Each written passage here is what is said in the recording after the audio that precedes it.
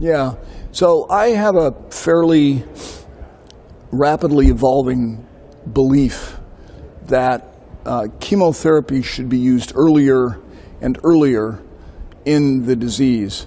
We are seeing t- at this meeting, for example, uh, significant evidence that the androgen receptor uh, positive patients are rapidly emerging to resistance to abiraterone or to enzalutamide.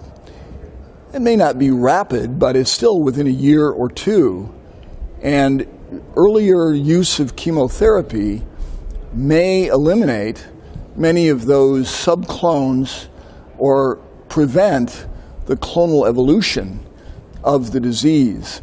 Uh, for example, if, if I have a young African American man, I am going to recommend strongly that he get chemotherapy early in the disease course because those are the patients who do badly with any number of our hormone based therapies. And we have basically three types of treatment we have hormones, we have immunotherapy, and we have cytotoxic chemotherapy. We don't have a lot of other options.